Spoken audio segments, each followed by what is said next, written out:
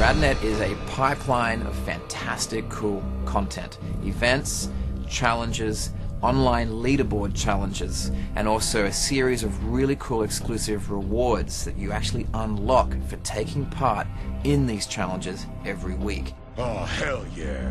It's a way of us being able to communicate with the fans. It's a way for us to provide messages to the fans every day, but also a way for us to be able to deliver new content to the fans. And that new content takes a number of different forms. RadNet is uh, our hub for events and challenges that don't necessarily fit into the story of the game, but really showcase something that's awesome or fun about the core gameplay of Earth, whether that's racing across city rooftops, or flying a helicopter through narrow canyons of buildings, or dive bombing off of 40 story buildings and seeing how many guys you can take out with a single hammer fist blast, and also giving people an opportunity to compete against themselves and their friends and earn unique rewards.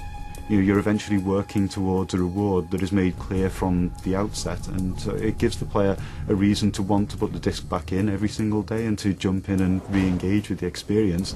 And it's a nice, I think, a nice surprise for the player. They don't know what the new surprise is actually going to be, but they do know that something is waiting for them, which is pretty cool.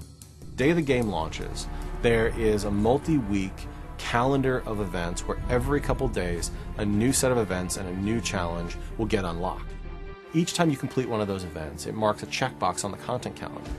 When you complete all the events in a week, you unlock a set of rewards. And a reward pack is a multi item gift pack full of really cool stuff like extra mutations for your main character, like behind the scene video documentaries, and also some cool stuff like Xbox avatars and PS3 dynamic themes linked to Prototype 2. Our biggest fans, our best fans, deserve more, and so that's what we're bringing with RadNet.